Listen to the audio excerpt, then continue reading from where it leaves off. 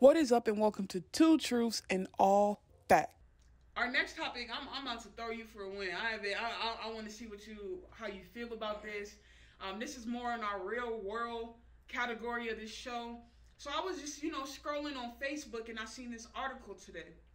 It said um, more people or less people are believing in God.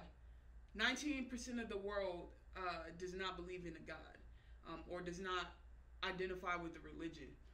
Um, and you know me, I have to check out comments. Comments are so detrimental to my like overall being just because you see a lot of bullshit in it. But I can't stop myself. I can't. If y'all can help me, help me. Cause I really be trying to not read the fucking comments, but I read the comments and it just it ruins my mood. Okay, it does. I be pissed off for a little bit, I have to turn the phone off.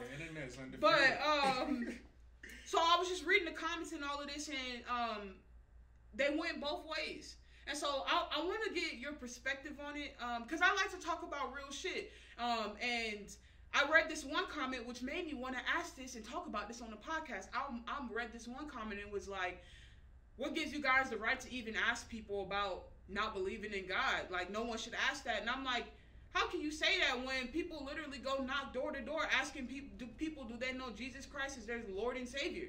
Like, you know? So, um, I don't know. And see, I don't know. I can't really get down with that. I mean, I know they probably did some mm-hmm. polls here and there, mm-hmm. but I mm-hmm. feel like that's not true. I feel like mm-hmm. the, what's really true is we come from a generation where church is boring as hell.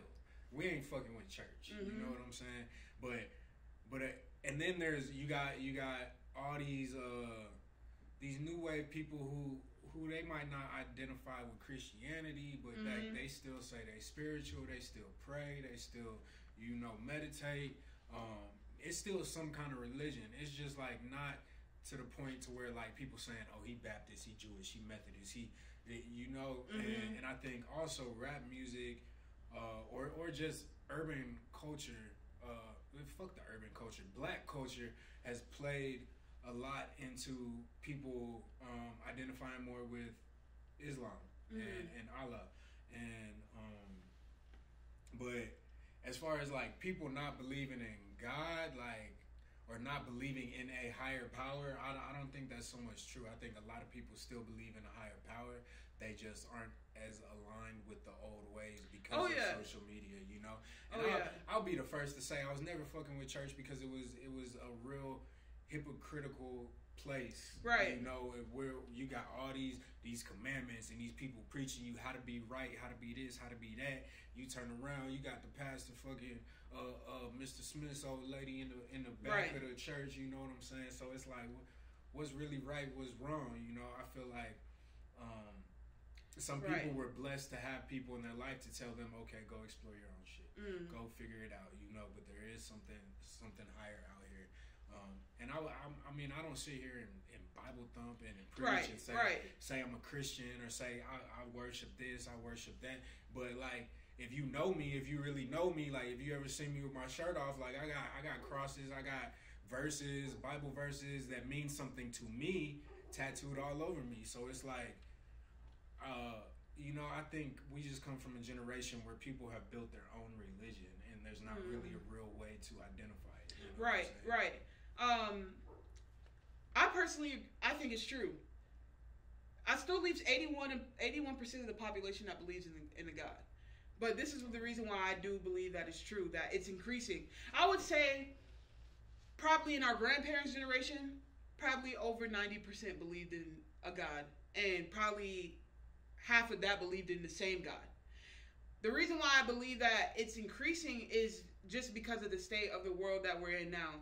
And like I'm not trying to debate like religion or anything, but I do believe that more people are looking for love, more love than less hate. And that was a big argument. Even some people they're like, "Hey, I'm not against you know believing that there's a higher power, but I just can't get with the way certain people act who are supposed to be you know, with this certain church. And I'm not here to bash, you know, Christianity, whatever you believe in, that's your right to believe in it. But I do think more people are just deciding to step away from it in at all because there's a lot of fighting. a lot of fighting. And I feel like one thing our generation and a lot of people are honestly afraid of, but I feel like it's a good thing. Our generation is more educated than any generation has been in the past. Right, right. We're way more educated, not only when it comes to like textbook education, but we're going out here and we are being afraid to do new things. We aren't being afraid to have these conversations. Like, I mean, I, I don't even know if I could get my own mom to sit down here and have this conversation with me on camera. You know what I mean? But like, I think it's important because a lot of people wonder the same things, and I I also agree with you. You know, I believe in a higher power. I got Bible verses tatted on me as well, but um, I don't believe that there is one set way to worship a God. Yeah, and I think and and, And I can't tell anybody to do that. What I'm saying, you know, is there Mhm. may I feel like you know a, there are atheists, but Right. there are a lot of atheists who will say like there's there's something that Right, brought me I- here. You right, know what I'm right. saying? They just don't believe in the whole system, Mm-hmm. and and I think that's kind of where where the gray Right, area is right. because it's like a lot of people, yeah, will believe in that higher power, will Right. believe there was some something that is pulling the strings, or Right. ordering our steps, but um, you know, it's just the whole systematic religion. I like, agree. It's, it's not far off from Right. systematic racism. I agree. know? I Uh, totally agree. And I, I've seen a lot of messed up stuff happen in these organized things. And I look at it like this. I don't think that we have lost hope.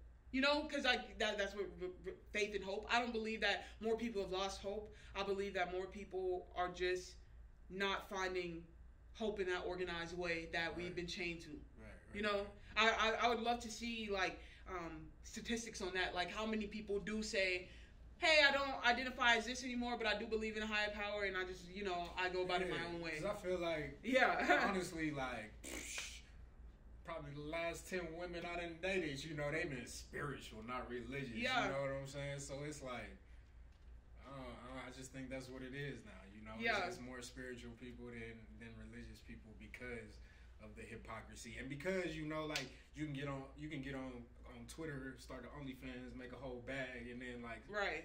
you know how you supposed to go to church and be like, yeah, I'm the same one. Who, you you know, it's just a different world we live in. Social media has changed a lot. Um, Right. So yeah, I, I I still don't know if I if I can fully accept those those numbers. Um, just because I feel like the the poll's probably a little skewed.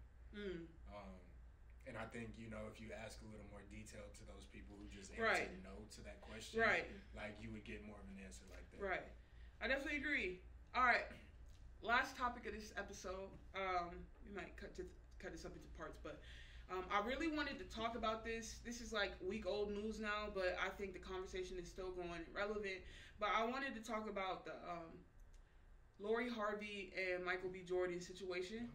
Um, I have to talk about it. I want to talk about it. Um, brief rundown if you don't know, they have been dating, I think, for like a little over a year.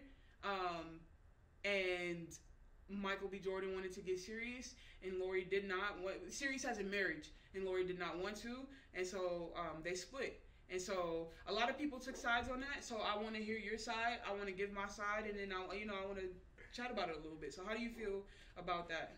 Uh, I mean, you know, I would have to know more, more like details, which I Right. feel like I have no right to ask. Right. Um, but at the end of the day, you know, the, Do you feel like she's own. for the streets? Because that's been the biggest debate. Like, what does that action make somebody for the streets? I mean, come on now. You, you, you, you, you, I disagree, so I'm not gonna I- come on. But I want to know your opinion. Well, well, nah, I, maybe not necessarily. You know, like how how old is Shawty? I don't even know. She's 25. Oh yeah, yeah, hell nah. You know, like Yeah. fucking hell nah. If now if she was thirty five, I'd be like, yeah, Yeah. she for the fucking streets. But twenty five, nah, you you you still got life to live. You ain't you don't. You might not even know what your Right. hobbies are, let alone what you're supposed to be doing with your life. You Right. know what I'm saying? So, I don't know. I think Michael B. Jordan has always been just very like, uh, very calculated and very Right. very. I think he knows what You he know what I'm wants. saying? Yeah. And that's totally fine. This is how I feel about it. I don't care if you're 35, 45, right? If they didn't go into the relationship, like, this is, it's two different sit- sit- situations with this. When they were in the talking phase, if he expressed, hey, I'm not dating to date, I'm not dating for fun, I'm dating for the future, and she agreed to get in a relationship with him, she's Right. totally wrong. Right. She and is I feel totally like, wrong. You know, those are the questions like that you would have to ask in this Right. situation that that the public doesn't really have the right, Right, but they have they think they have the right to judge, and that was my first question when I seen this story break. If, did they talk about marriage previously before they got into a relationship? Because if they did, totally wrong. But if they did not, that does not make her for the streets. Because that's just like let's just say right, like you go and propose to your girl, right? Yeah. You go propose to your girl tomorrow without talking to her, without talking to her about it, and she tells you no. That's not fucked up on her. No, no, You know, like yeah, it's, yeah, it may hurt, but it's not fucked up. But I also, it's also like, what kind of signals was she giving the dude to make him think that like that was where they were going? Right. Um. And and What if I- she's just a really good partner though? Like Well- we don't know. And see, that's the thing is like I got I got homegirls who like they ride or dies, like they Right. shit, but like I know in my head like eh, like whatever nigga end up with you, like I pray for him, you know. But like as a homie, like you a one, Right. like I'm calling you when I need you, but like yo guy, like you you ain't the type to to get sit down and get married. And it ain't even like saying they thoughts or saying Right. this. It's just like they ain't those type of people. Just like I got homeboys who like they ain't them type of niggas. Right. It's just not gonna happen. Exactly. And I mean, and, and it's just it just because it's so. It's always skewed, and that's my whole thing. That's why I even get interested in doing podcast media, all type of stuff. I get interested in it because I'm like, we have to stop skewing things. I don't think, you know, because it turns into oh, women ain't shit, men ain't shit, Yeah. and that is not the case. I know both sexes who are not people to settle down. I mean, I'm talking about dudes in their 40s, multiple children who cannot be married. Yeah, yeah, yeah. You know, but they will play house, and that's what I call that. I call that playing house. If you're not down with all the other shit, but you're fine with living with each other, splitting shit, and you know having a good time. But when the seriousness comes, it's like, hey, we've been, you know, we've been we've been doing this for like four years now. You know, Yeah, yeah. somebody need a ring, you know, and then they get all like, whoa, you know, like And I think it also it's also a thing of trust. You know, like social Yeah. media has like these. When you look at, if you're looking at like, I'll say if you're looking at thirty and up hmm and thirty and below, hmm there there is a fine social media came in in that age, like right in between there. Yeah. like the ones who was above thirty, like they didn't have to deal with all the like stress of trying to trust somebody in the social Right. media age. So their understanding of relationships are completely different than the ones who are coming up here now and seeing all uh, uh, naked women on Instagram every three posts, seeing naked dudes on Instagram every three Right. posts. You know, get getting flooded in the DMs by by people trying to court them and Right. shit, having all these options Right. across the board. You know, like that just wasn't a thing right. um, until probably like honestly what The last, 10 yeah, the last ten years for sure. and so Cause you got to think Instagram came around. Shoot, you're probably like senior or just fresh out of high school. I was, I was yeah. literally like in tenth grade yeah, when like I'm talking about them ugly ass filters. Everybody literally posting what they're doing today, not literally- like thought out laying You know, bed like right? fucking Um, but I do think it's a trusting, and it brings me to like the other part of this. I had like there's this, been this ongoing debate, right? And like, um, and I want I like to look at it. I have to play both sides, right? So you brought up the like half naked posts, right? You know, men and women they both do it. How do you like? How do you feel about it? Like, if you're in a relationship, right? Okay, and I want to look at it from two angles. You're in a relationship your girl is an influencer and she gets paid to model off bikinis and go on trips and you know do these things to Mhm. where she gets paid to post this stuff. Like if it's How do you if, feel about that? if it's her job and she got a love for it, she got a passion for it, like do you, Shuddy? And like I'm gonna tell you, like I date Doms, like I know, I know, Mhm. like their inbox is gonna be flooded, Mm-hmm. but like you just gotta be the type of nigga to have that. It's the same for females. You gotta be the type of person that to have that confidence that like they picked you for a reason, Right. You know what I'm saying? And like Mm-hmm. fuck it. Like I've always, I told all my homies, like, uh, you know, I, I done rapped it in plenty of songs. Like, if you fuck her, you can keep her. You know what I'm saying? Like, I ain't, I ain't out here like competing with the sneaky links and shit like Right. that. Like I know what I am. You know what I'm saying? Right. And if you don't know what you is, you probably shouldn't be fucking around with the top notches. You know that's gonna Right. fuck up your confidence. Right, right. Um, yeah, I just I, I like to ask that question because I feel like now that we we know, I hate to use this. We know when people are being scandalous versus, you know, doing what they do to get paid. You know, whether and I don't judge people for that. You know, because like I just seen a podcast interview with someone who was married to a, an a, adult film star, and it was very eye opening because they were asking the like most craziest questions. You know, any question you could think about asking somebody who married a a adult film star. Yeah. But it was so eye opening because their relationship is nothing like what you would expect. They're like, oh, I don't Uh-huh. even, you know, like, Yeah. you know, and it was just, it was just like the utmost respect. And so I, I, it's like we judge folks when a lot of these real people, when a lot of people who are really getting money doing this, they carry themselves with value. They You know, they And I mean- respect them part their partners. So it's like it's honestly really kind of easy to distinguish between people who are really for the streets No, people. real You know, talk, real talk. Cause I tell you straight up, like I will, I'll probably never ever date a stripper. Like if my girl told me she wanted to be a stripper, like I'd be like, hey, all right, go do you, Mhm. you know.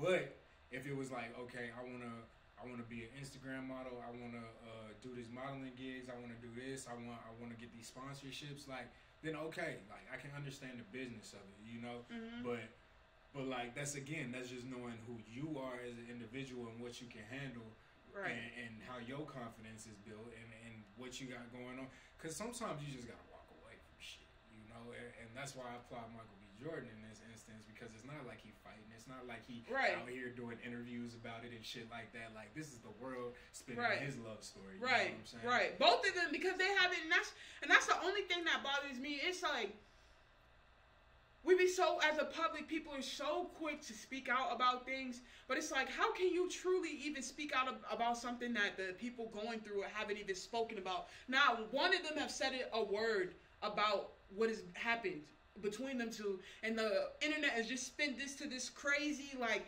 he- hero versus villain Yeah, type story, yeah. and it's like they honestly could have mutually agreed, like, hey, like, it's not going the direction that I wanted to go. You're not ready.